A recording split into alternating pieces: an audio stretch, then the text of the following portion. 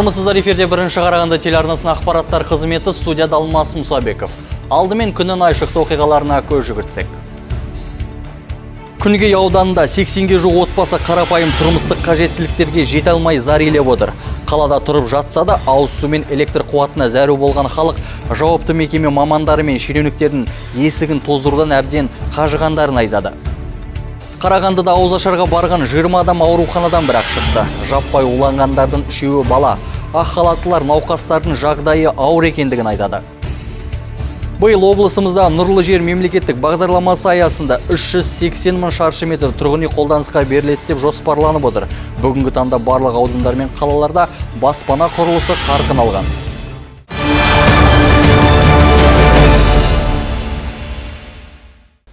Күнге ауданында 80-ге жуық отбасы қарапайым тұрмыстық қажеттіліктерге жете алмай зар отыр. Қалада тұрып жатса да ауыз мен электр қуатына зәру болған халық жауапты мекеме мамандары мен шенеуніктердің есігін тоздырудан әбден қажығандарын айтады. Бірнеше жыл бойы құрғақ уәдеден басқа еш нәтиже көрмедік деп ашынады жұртшылық. Күнгейліктердің мұң мұқтажын әріптесім өз көзімен көріп қайтты. Міне кешкісін міне біздің генераторымыз бар. Генератормен кешкісін свет жағамыз вот кешкісін бұрын қыста алтыда жағатынбыз қазір енді күн не ұзақ болып соң қазір сегіз тоғызда жағамыз. Бұның өзіне бензин көп кетеді. Бензинге ақша да шақ келмейді ғой. Сол кейде міне кешкі қазір сегіз тоғызда жағамыз. Сосын сағат он екіде өшіреміз оны. Кейде свет жоқ болған кезде міне шаммен отырамыз. Бес баланың анасы эльвира қызының отбасы күнге ауданына тұрып жатқанына алты жыл болған. Осы уақыт ішінде электр қуаты мен ауыз су мәселесі әбден қашытып бітірді дейді тұрғын. Себебі аталмыш ауданның бірнеше көшесіне ғана тіршілік үшін қажетті инфрақұрылым жеткізілмей жетімсіретіп қойған. Кесірінен сексенге жуық отбасы қала ішінде өмір сүріп жатса да тіршілік нәрі жарық пен кәріз жүйесі жоқ жағдайда өмір сүруге мәжбүр. Көп балалы ана мұнда мектеп жасындағы оқушылар үшін тіптен қиын екендігін алға тартады. Бензиннің бағасы қымбаттап кеткеннен электр тоғын беретін моторды үнемдеп пайдаланатын көрінеді. Есептеулі көлемдегі жарық балалардың еркін сабақ оқуына мүмкіндік бермей отыр сөзінше. Жаз болып келе жатыр қазір. Күн ыстық. Сол холодильник керек балаларға. Сол холодильник болмаса неше түрлі не болып жатыр. Алған затымыздың бәрі құрып жатыр. Сол не свет жоқ. Сағат алтыда қосамыз генераторды сағат 12-де өшіреміз. Бензин қымбат потому что бензин керек. Бензин болу үшін ақша керек оған. Бұл ауданның халқы 2014 жылдан бері мәселелерін айтып атқамінерлердің табалдырығын тоздырып келеді. Сөздерінше әркез мәселені шешеміз деп уәде беріп жылы жауып қоя берген. Енді әбден ашуланған халық кімнен барып көмек сұрарымызды білмейміз деп налып отыр. 2014 жылы ол кезде нұр отан партиясының орынбасары бауыржан байбек сол азаматқа біз хат жазып едік осы мәселе бойынша. Ол кісіден қарағанды су арқылы қарағанды жарық арқылы жауап келді. Осыншама бұл мәселені шешеміз осыншама бюджет бөлінеді деп. Бірақ осыншама уақыт өтті міне төрт жыл өтті 2018 әлі шешілген ешнәрсе жоқ. Жергілікті халыққа ауыз суды көрші ауылдан тасуға немесе шақыртқанда ғана келетін су таситын көліктен сатып алуға тура келеді. Ал электр тоғының орнына шам немесе бензинді моторды қосады. Кәріз жүйесі болмағандықтан аптасына бір екі мәрте үй басына үш мың теңгеден нәжіс тазартқыш көлікке ақша төлеп тұрады.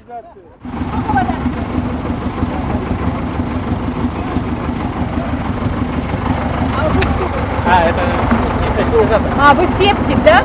Сколько стоит услуга откачать септик? Три тысячи. Три тысячи. биліктегілер бұл жайдан хабардар екенін жасырмады бірнеше жылдан бері жауыр болған мәселені биліктегілер енді ғана кірісіп қолға алмақшы екендіктерін айтады ал не себепті осы уақытқа дейін қаралмаған түсіндіріп те тырыспады 30 мая 2018 года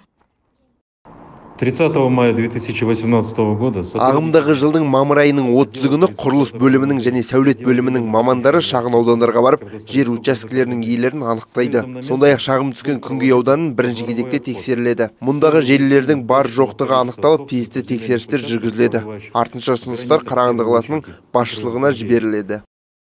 Бұл жауап күнге ауданының тұрғындарын қатты қуантпады. Себебі осы аралықта мұндай уәденің талайын естідік дейді жұртшылық. Күнделікті өмірге керекті су мен электр қуаты қарапайым халықтың қажеттілігіне қашан берілетіндігі әзірге нақты белгісіз. Аяжан ералқызы жасұлан мақұлбеков дастан шанин бірінші қарағанды телеарнасы. Қарағандыда ауызашарға барған 20 адам ауруханадан бірақ шықты. Жаппай уланғандардың үшеуі бала екен. Ақ халаттылар науқастардың жағдайы ауыр екендігін айтады. Ал адамдар улануы мүмкін тамаққа қазір бірнеше сараптама тағайындалды. Мәселенің мән жайын тілші баяндайды ауызашар жасап 30 адамды үйіне шақырған асхат енісбаев жақындары мен достары сияқты ауруханада жатыр. Азамат адамдардың неден уланғаны ақылыма қонбайды дейді. Тек азық түлікпен асқан жылқы мен сиырдың етін тұздалған күйінде базарда сатып алғанын айтады. Самалдан пирожныйлар алдық шығыстан арахистар алдық мейіз өрік алдық. Қалғанын бәрін ұсақ түктің бәрін магнумнан алдық. Содан кейін жиырма бесі күні кешкісін ауызашарға шақырдық. Ауызашарда бәрі жаппай халық келген халық ет жеді еттің тестасын жеді ет жеді основной халықтың бала шағаға дейін жеді. Жиырма алтысы күні ең бірінші менің бауырымның баласы ауырды. Жиырма адам сенбі мен жексенбі күндері бірінен соң бірі жұқпалы аурулар ауруханасына түскен. Жүректері айнып қызуы көтерілген науқастар бір ауыздан іштерінің ауырғанын айтқан. Үш адам жансақтау бөліміне түсіп қалғандарының асқазандары тазартылған. Ал дәрігерлер науқастарды үйлеріне әлі қайтара алмаймыз деп отыр. Өйткені жағдайлары әлі де болса ауыр көрінеді. Жалпы жағдайлары қазір орташа реанимацияда жатқан бөлімшелердің науқастардың жағдайы стабильді но бірақ ауыр. Ауызашар беремін деп басы бәлеге қалған отбасы бұған дейін етті базардан алмағандарына сендіреді. Сатып алғанда да тауар күмән келтірмеді дейді. Сондықтан қонақтардың неден уланғанын құзырлы органдағылар анықтайтынына үмітті. Ал әзірге еніспаевтар отбасы прокуратураға арыз жазды. Мейрамгүл салқынбаева дастан шанин бірінші қарағанды телеарнасы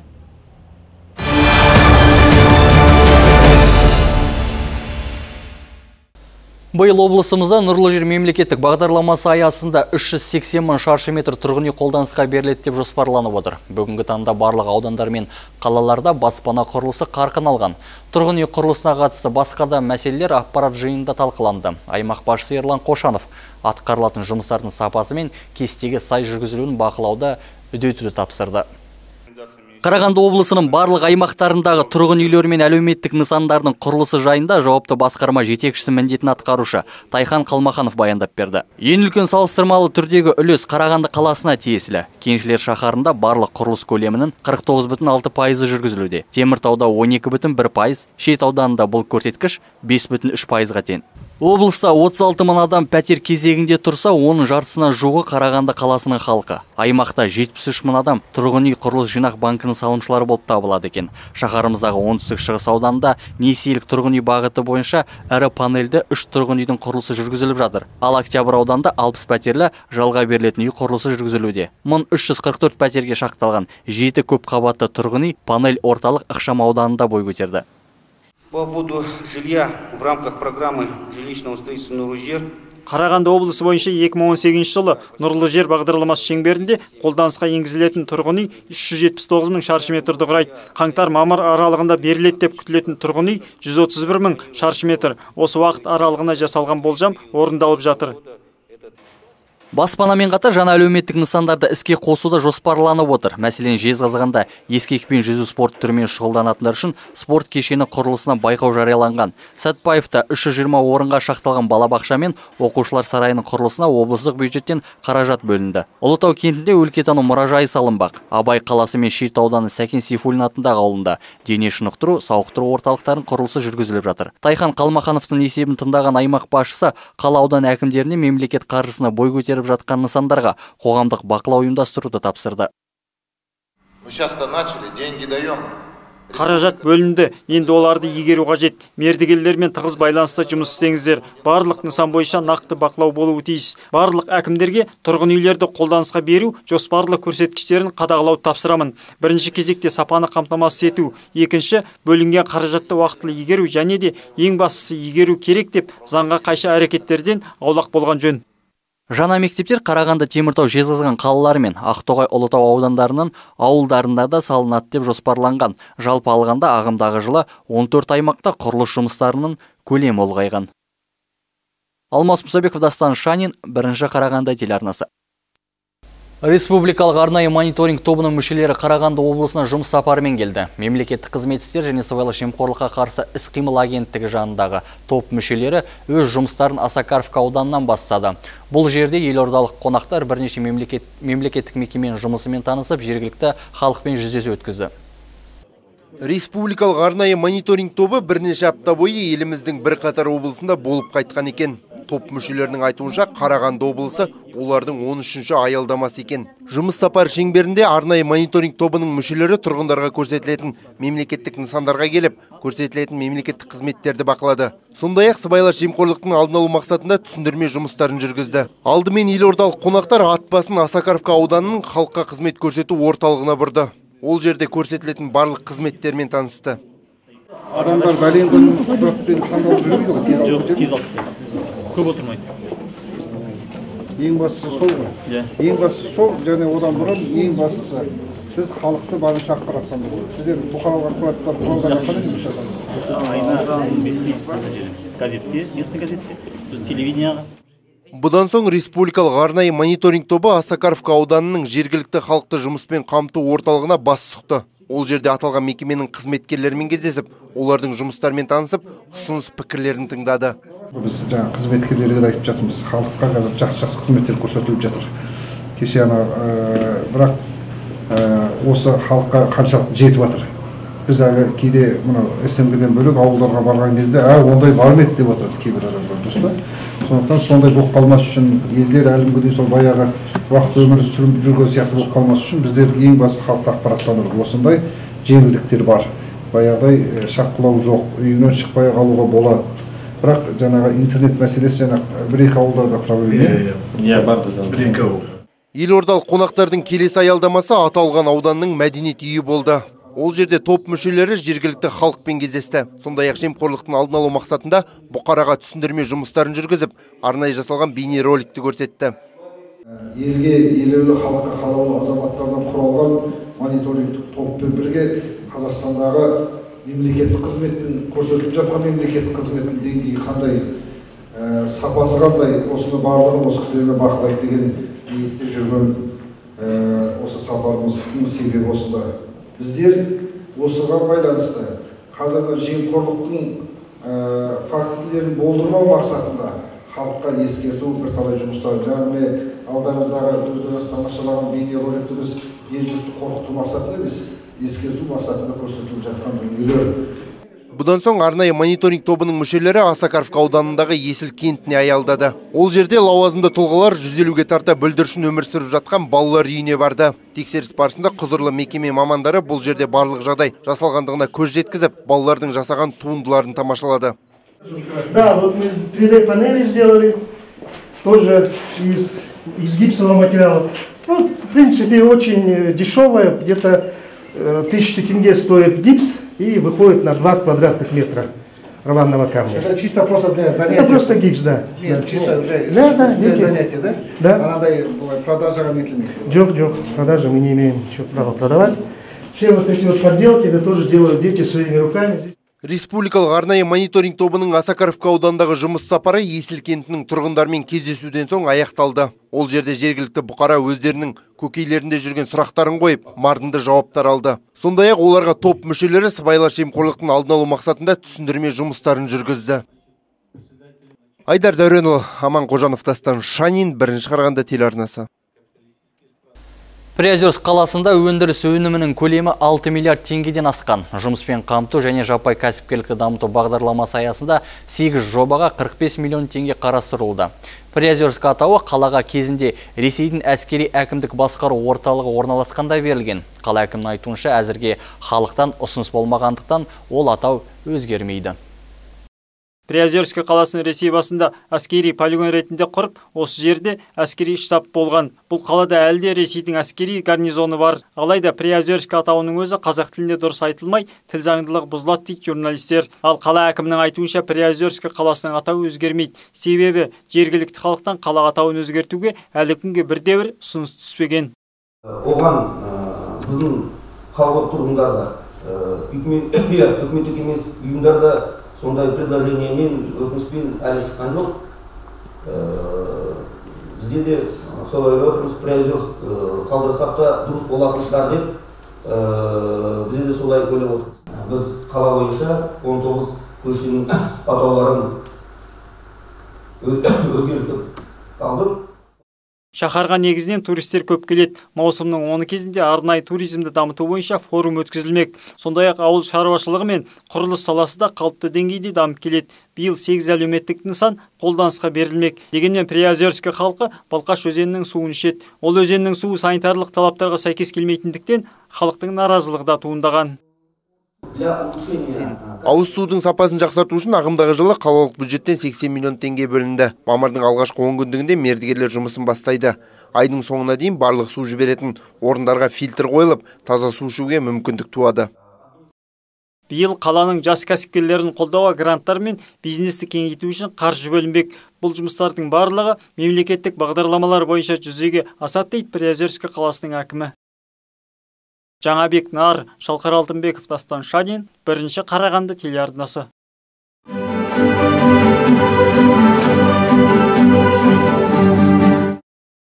Ертеде қазақ хандығында хан мен ханым болыпты. Олардың үш ханшайым қыздары болыпты. Бір кезде ханшайым қыздарға жауыз сиқыршы инфекция қарғысын салды.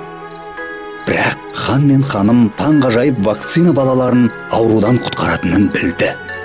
Міне ертең біз әдеттегідей екпе жасатуға барамыз қазір ұйықтайтын уақыт келді қазақстан республикасы денсаулық сақтау министрлігінің салауатты өмір салтын қалыптастыру проблемаларының ұлттық орталығымен дайындалған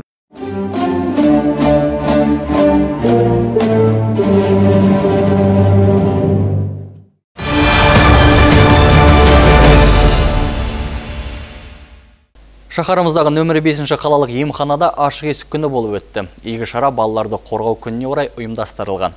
Онда жетекші мамандар мен әртүрлі саладағы білікті дәрігерлер тегін диагностикалық көмек көрсетіп, ақыл кеңестерін берді. Нөмір 5 қалалық емханада өткен шара аясында ақалатылардың бір күндік жұмысы көрсетілді. Кәсіби кеңес алуға келгендер үшін окулист, невропатолог, эндокринолог, балалар хирургі сынды өз білікті мамандары да қабылдау жұмыстарын жүргізді. Ашық есік күнге келгендердің бірі Ардақ Мұқанова. Аталмыш медицина мекемесінде 8 жылдан бері тіркеуде тұр. Екі жасар қызын тағы бір мәрте медициналық тексерістен өткізу үшін алып келген. Оның айтуынша қазіргі заман талабына сай электрондық жүйенің іске қосылғаны өте ыңғайлы көрінеді.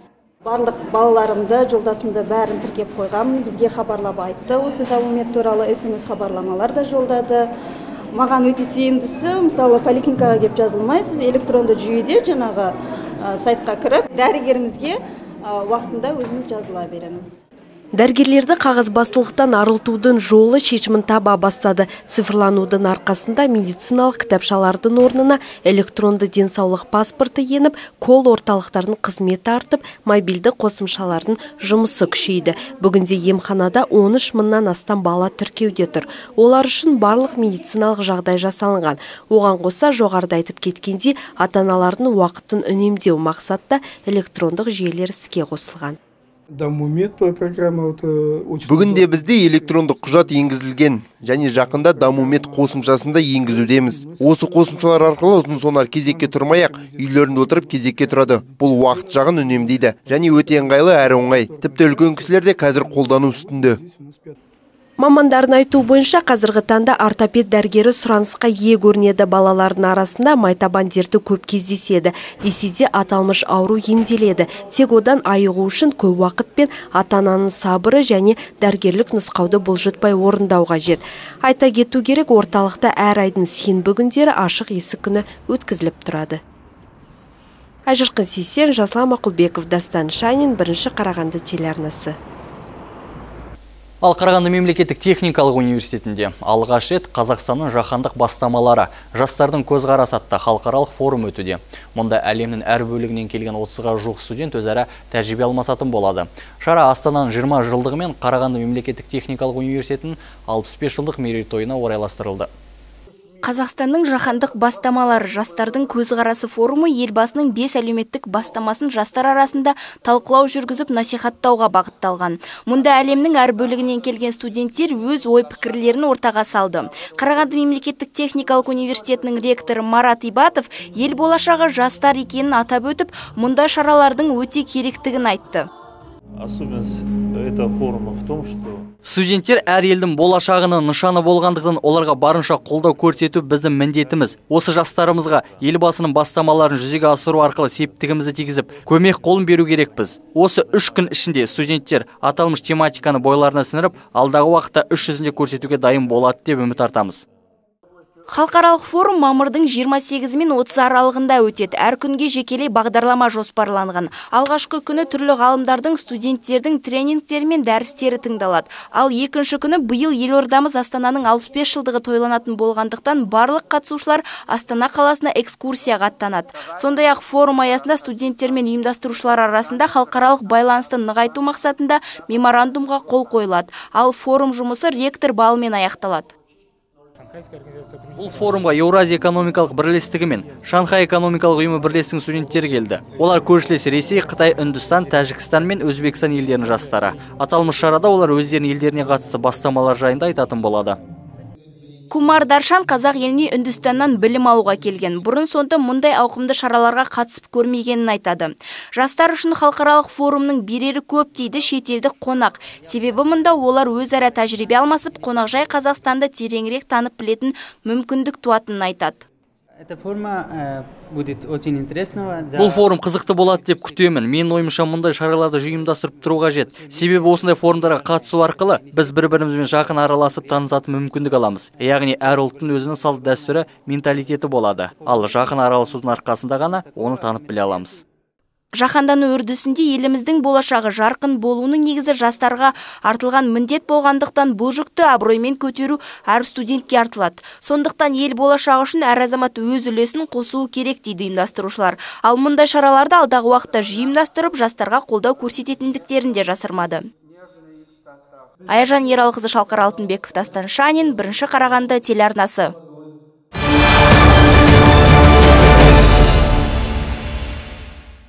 Теміртауда республикалық ғылыми әдістемелік семинар ұйымдастырылды. Онда ішкі істер органдарының кадрлық жұмыс бойынша бөлімдері мен көліктегі ішкі істер департаментінің қызметкерлері қатысты. Шара аясында полицейлердің қызметтік тәртіпті сақтау мәселелері қарастырылды теміртаудағы тәртіп сақшыларының оқу орталығында полицейлердің қызметтік тәртіпті сақтау мәселелері қарастырылды.